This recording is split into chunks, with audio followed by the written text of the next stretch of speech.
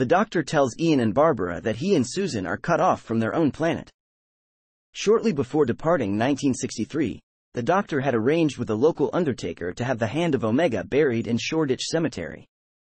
He returned to check that it had been buried as per his instructions, only to discover that it had been removed. He determined that his future self would arrive at an earlier point in order to deal with it.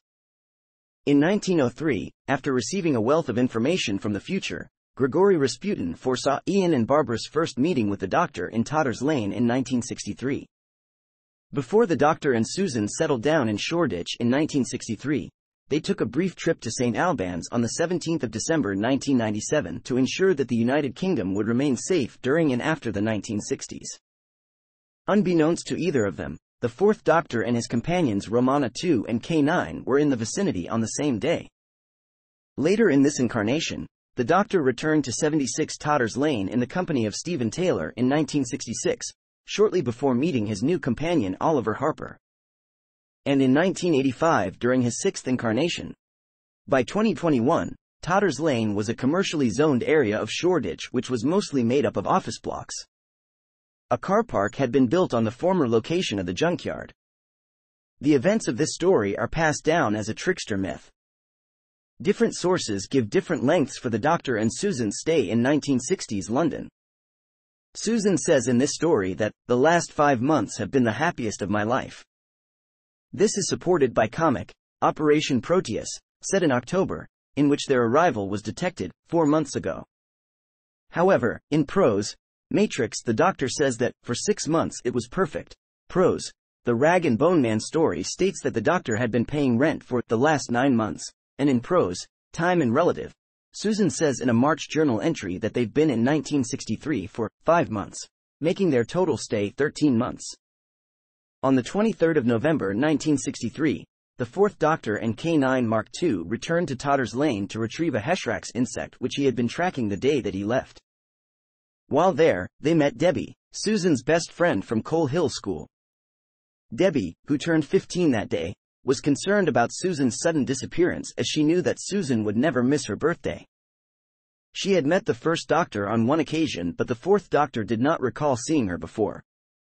He also did not remember Susan ever mentioning Debbie but admitted that he was not always the best listener. He told Debbie that Susan decided to stay on 22nd century Earth but then amended this by adding that he chose for her, expressing the hope that this decision was for the best. Debbie was thankful that she met the doctor as, while she knew that she would never see Susan again, she could at least live her life safe in the knowledge that she was safe in the future rather than spend it wondering what happened to Susan and fearing the worst. After arriving in the past, the doctor is puzzled over why the TARDIS is still a police box. The 11th Doctor traveled back to 1963 and sabotaged the chameleon circuit, shortly before this. The 11th Doctor hears various voices from his past when a time rift from the past leaks into the TARDIS. One of those voices is Susan saying, I made up the name, TARDIS, from the initials, time in relative dimension in space.